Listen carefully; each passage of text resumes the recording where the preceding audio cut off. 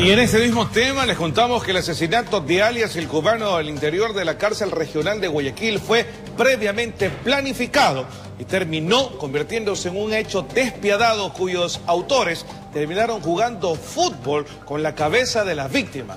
En la siguiente nota revisaremos el paso a paso de los acontecimientos.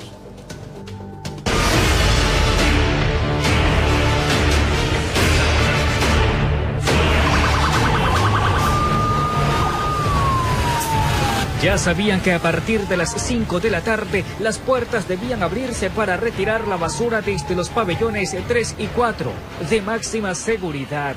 Exactamente a las 17 horas con 4 minutos de este martes 11 de junio ocurrió aquello.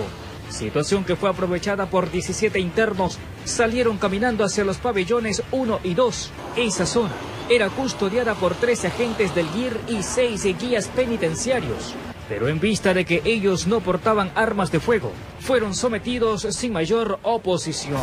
Son, son policías que no tienen armas en el interior, tenemos eh, grupos de reacción que están hacia afuera. estamos dando a ¿qué? No. Los PPL tomaron la indumentaria de los agentes, el chaleco y el casco de protección. Subieron hasta la tercera planta, llegaron a la celda 302 donde permanecía William Poveda alias el cubano, y le dispararon en reiteradas ocasiones. Eh, se encontraron en la celda donde él habitaba eh, casi tres indicios balísticos. Al parecer, pues, eh, fue utilizada para acabar con la vida de este ciudadano una pistola 9 milímetros. Allí continuó la descarga de odio en contra del cuerpo ya sin vida. habría sido decapitado con una arma cortopunzante y el cuerpo lanzado al interior del patio de dicho pabellón. Al igual que lo ocurrido con la revuelta del 30 de mayo, esta vez los privados de su libertad volvieron a tomar un colchón para prender fuego al cuerpo. Finalmente se encaminaron hacia el patio donde tomaron la cabeza del fallecido y empezaron a propinarle patadas simulando disputar un partido de fútbol. Una cancha donde eh, practican indoor, indoor, un área recreacional justamente para los internos y jugaban pues se ven en algunos videos que se que pateaban la cabeza de Alex Mientras esto ocurría al interior, desde afuera los agentes de las unidades especiales procuraban tomar control de la situación sin arriesgar la vida de los secuestrados.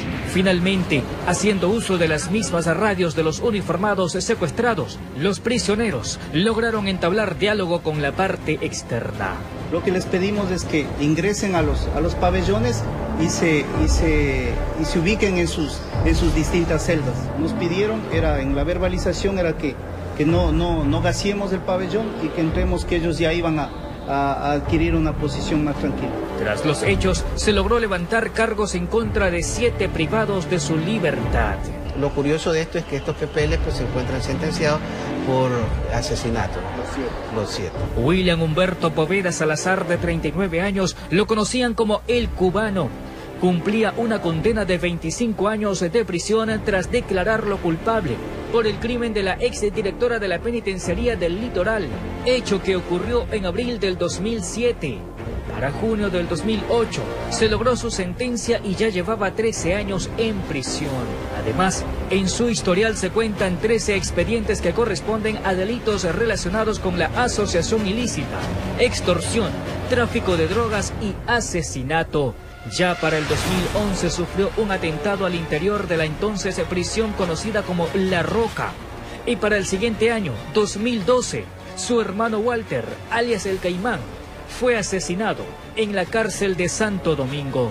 Indiscutiblemente que se trata de disputas por mantener el control del centro penitenciario de ciertas bandas. La mañana de este miércoles, sus familiares retiraron el cuerpo desde el Laboratorio de Criminalística y Ciencias Forenses. Estamos dando a cubana, ¿qué? Informó José Morales.